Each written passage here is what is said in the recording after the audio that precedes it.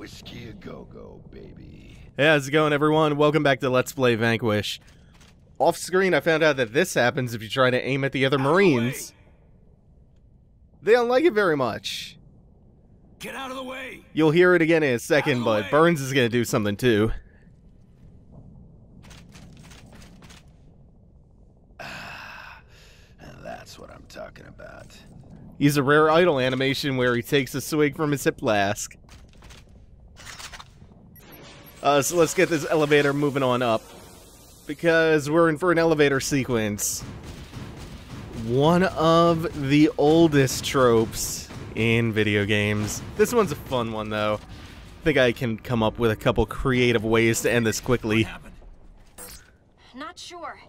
Incidentally, the other lift appears to be in motion. Our eyes coming up to say hello. We've got company, Bravo. Get ready to roll out the welcome mat. Yes, sir! If there wasn't so much shit in the way, you could actually get a pretty good view of the space station from here. It's pretty cool looking. Maybe we'll look at it later on. Uh, the LFE should take down all of them. No, it left two. That's not bad, though. That LFE kicks ass. Wish its range was a little bit better.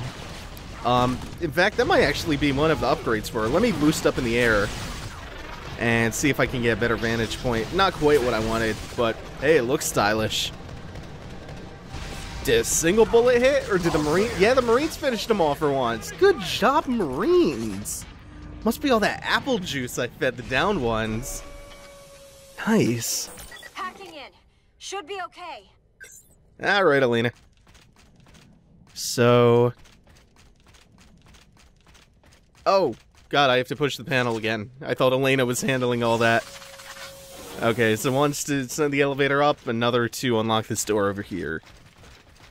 Which I believe leads us out to a boss fight. Act 1, Mission 8, Hostile. This is the last act, or uh, the last mission of Act 1. See, I believe, oh, that's the big missile Romanov, which, Romanov M? For mortar or missile? Uh, so we'll flick a cigarette. Oh, that was so well timed. I didn't even mean to do that. I didn't even have to go into slow motion for that one.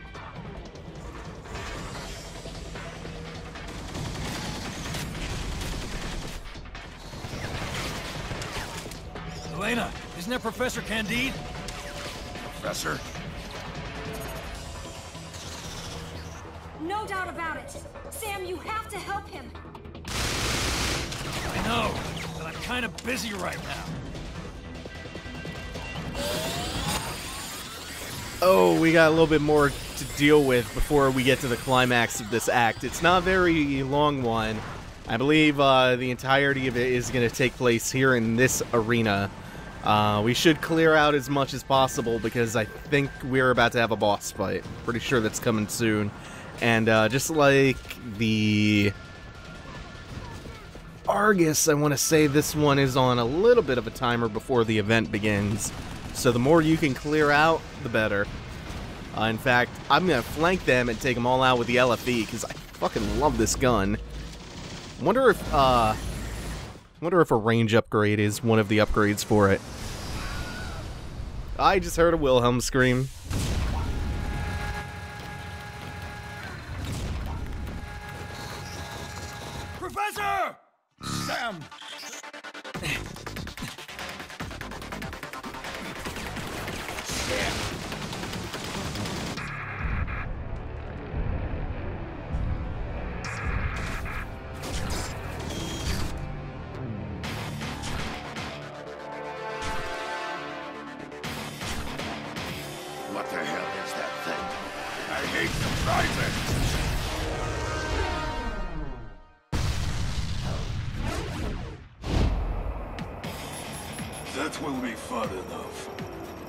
Zaitsev, what do you want with Candide? There is much I want from Mr. Candide.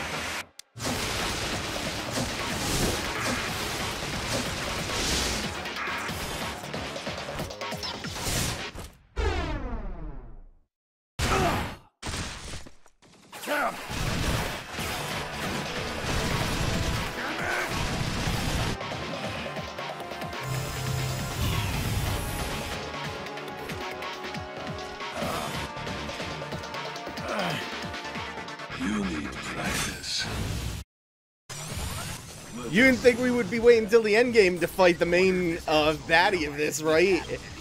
Oh, Z- uh, Zaitsev. Not Zaitsev. Zaitsev. Victor Zaitsev. So, the climactic end to Act 1 of this is a boss fight against Zaitsev in his bogey suit. That thing looked really stupid, like a, a red spandex skin suit, up until it turned all Epyon. Uh, he's no Vergil, but does exactly what you want. This is a very character action trope right here, one that is totally welcome. The rival battle. The Vergil, the Jean, the Lumen Sage. Zaitsev doesn't quite rank up with them, but it's a fucking fun fight. I'll, I'll give it that much. Uh, he zips all over the place. Uh, he tends to just rain grenades down or fire really strong plasma shots. Those are those EMPs or uh, I believe one of his grenades overheats your suit automatically. I think that happened towards the beginning of the fight, and then he hit me with one of his big laser shots that really hurt. Ooh, and he can really take your cover out if you're not being careful. That's one of the coolest things about this. Ooh, hey! Uh, what? Okay, it's X. I wasn't sure what prompt they wanted me to mash. Maybe it could have been any of them. I won that. Sam goes all G Gundam on him. he goes full on Shining Fist.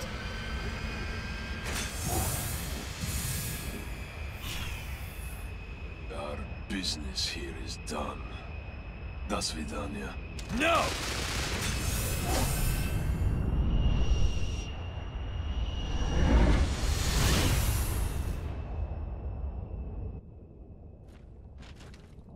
Fuck me. That's that. That's the end of Act 1. Uh, we're going to be moving on to the first mission of Act 2 now. And tactical challenge are now available. Challenges are now available from the main menu. Um, we'll probably be seeing a couple of those um, when I get a chance. Maybe a little break in the action happens between missions. Not when we're on the lines together. I need to know everything you know. Elena and I do not fall under military jurisdiction, Lieutenant Colonel. I think what you're trying to say is fuck off. Hacking now. Uh, as cool as like Zaitsev's suit is and that fight, he he lacks like he lacks some of the presence that you would expect. That's why I say he's like he's no Vergil, he's no Jean.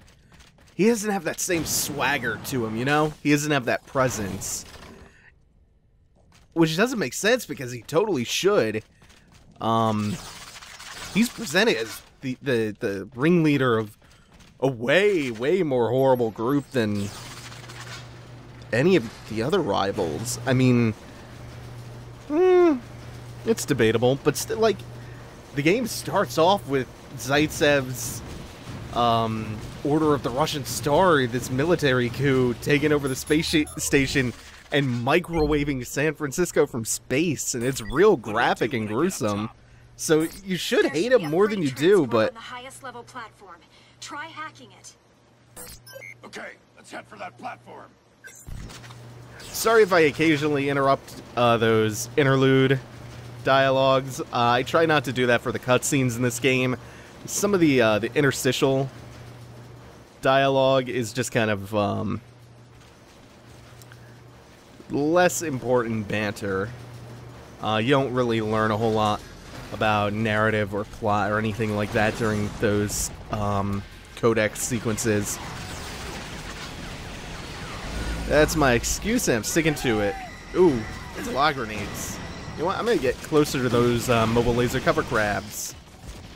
They have names. I believe it's a Spanish name that I just I can't remember what exactly it is, but um, it's irrelevant because mobile laser cover crab is a much better name for them anyway. I don't know why the uh, the just call them jackals. I don't know why the the Gorgies are ignoring me. I mean, I know that one on the turret up on the truck can't hit me because of the dead angle. But there was another one that really could have messed my day up.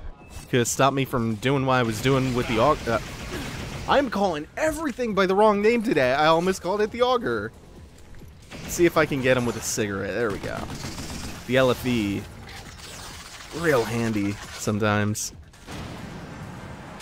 If I wasn't so hell-bent on upgrading the heavy machine gun, I might put some points into uh, the LFE and see if I can get a range upgrade for it. This'll come in handy. I'm pretty close to maxing this thing out, and that's it. Firepower increased by 40%.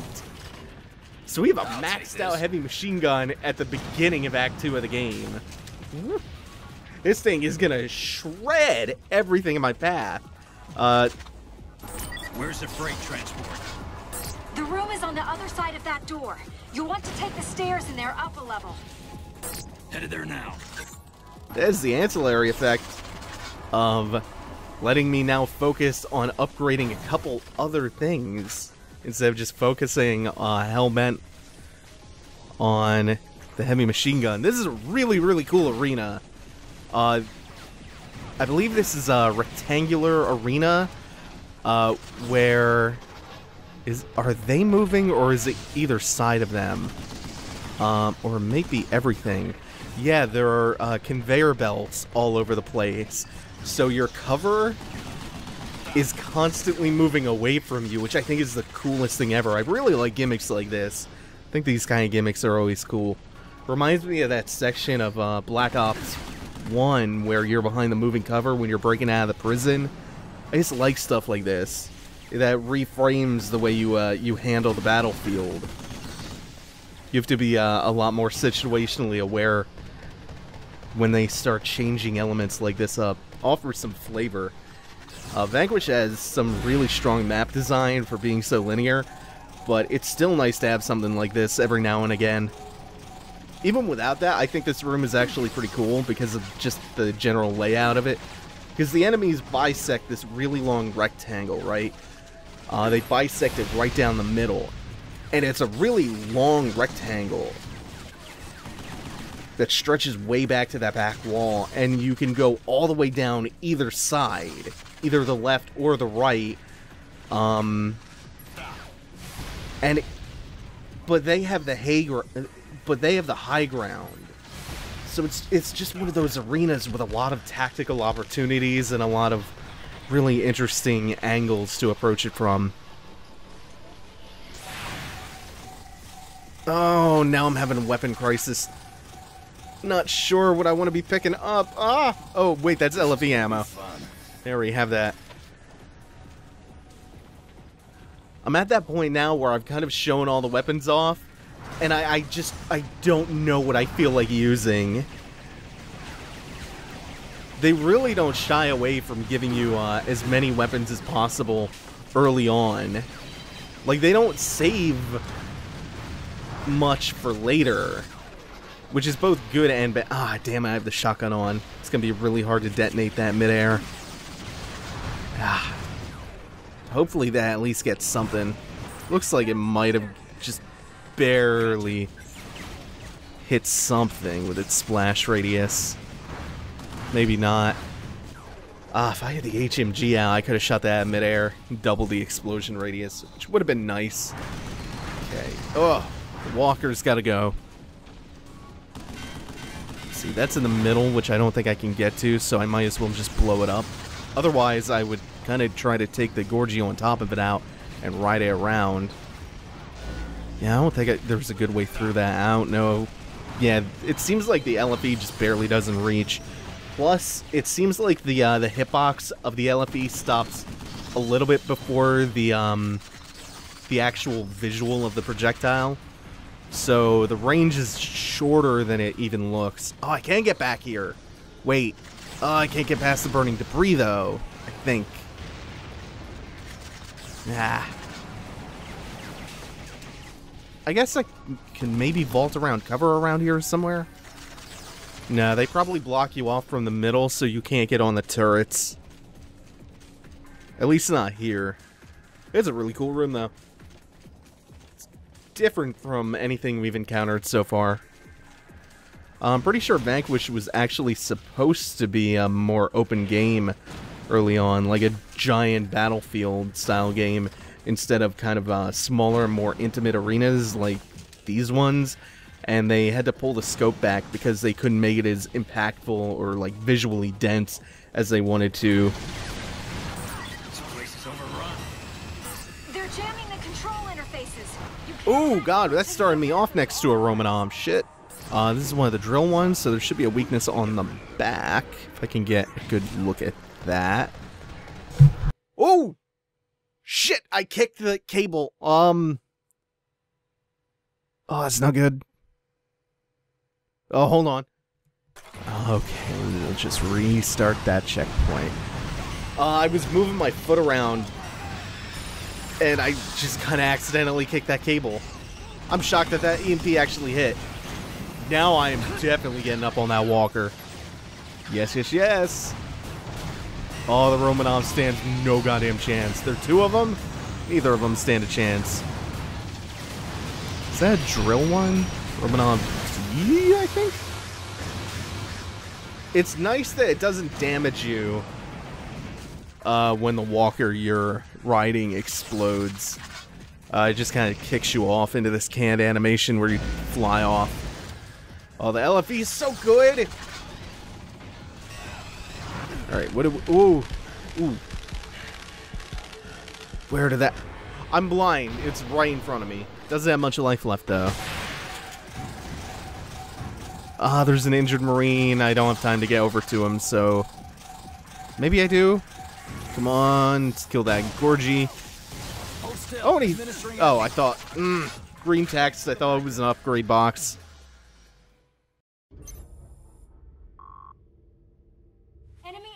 Approaching at high speed. You need to get aboard now.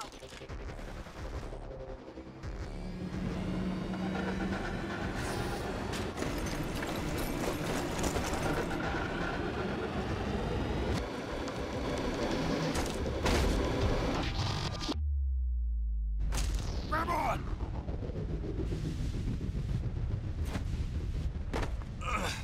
Thank you, sir. Well done. Be a little bit more careful next time. Got it, Elena? Sorry.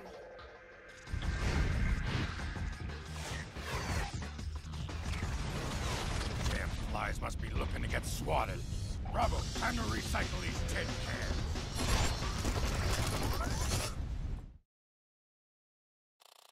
Alright, that's all I have time for today.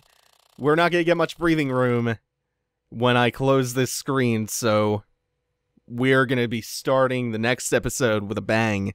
Till then, thanks for watching, everyone. Take it easy. Have a good one.